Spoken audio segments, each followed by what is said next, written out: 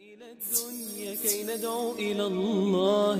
لننشر الخير في الكون الذي حارى ونرسل العطر کوئی نبی گھر نہیں بیٹھا.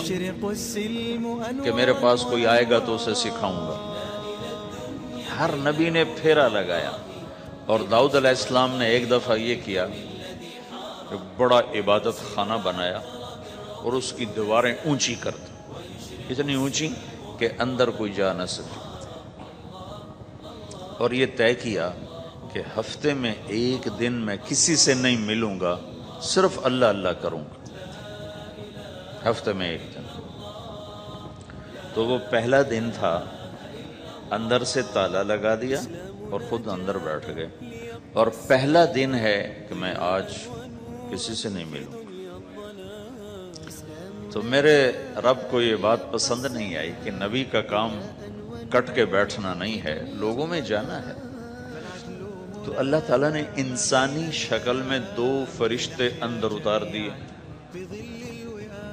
اذ تصور المحراب ففز منهم، قال لا تخف، خصمان، بغى بعضنا على بعض، فاحكم بيننا۔ کہا جی حضرت، ہمارا جھگڑا ہو گیا ہے، ہم آپ سے فیصلہ کروانے آئے تو داؤد علیہ السلام ڈر گئے کہ دروازہ بند ہے یہ آئے کہاں سے؟ دیوار اتنی اونچی ہے کہ اس کے اوپر سے چھلانگ لگا کبھی اندر نہیں آ سکتے۔ تو یہ کون ہے؟ آئی کہاں سے؟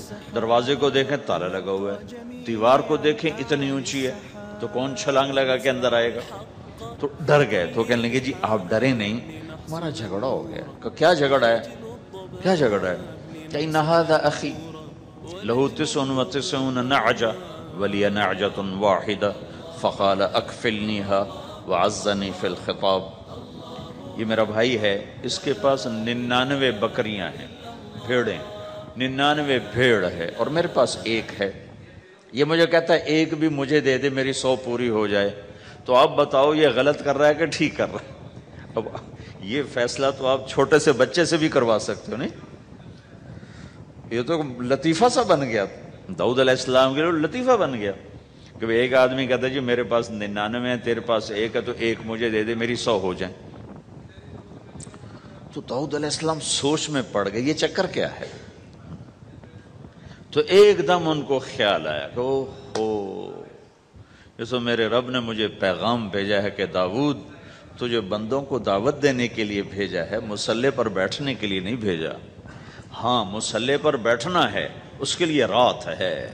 قم اللیل الا قلیلا نصفه او انقص منه قلیلا، او زد علیہ، ورتل القرآن ترتیلا۔ چل ومن اللیل فتحجد به نافلة لک۔ عصا ان یبعثک ربک مقاما محمودا۔ رات ہے، آ جاؤ۔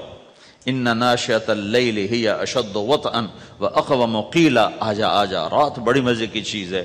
تو اور میں تنہا فیضا فرغت فنصب و الى ربک فرغب آ جاؤ۔ تتجافى جنوبهم عن المضاجع يدعون ربهم خوفا وطمعا ومما رزقناهم ينفقون رات تیری میری، دن میرے بندوں کے لیے۔ نہیں بیٹھ سکتا، تسبیح پکڑ کے نہیں بیٹھ سکتے ہو۔ كي ندعو إلى الله. لننشر الخير في الكون الذي حارى ونرسل العطر من روض الهدى الزاهي. ويشرق السلم أنوار